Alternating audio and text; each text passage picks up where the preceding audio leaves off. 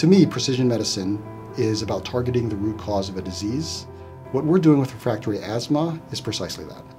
My name is Alfin Vicencio. Everybody calls me Didi. I am the Division Chief for Pediatric Pulmonology. As physicians, everybody sees asthma. And in children, it's the most common chronic disease. Our practice has tended to focus on that 5 or 10% of patients that despite our best measures of using standard therapies, uh, they continue to have symptoms and they're in the emergency room, missing school. And those are the children that we've chosen to focus on.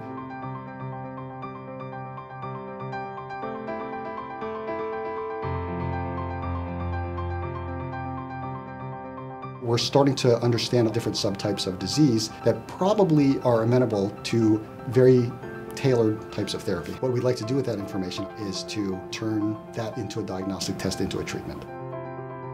I love coming in and seeing a family who I've been able to help to ease the suffering of their children. That's the thing that really, really drives me to keep doing what I'm doing. Something that makes me glad to do what I do on a daily basis.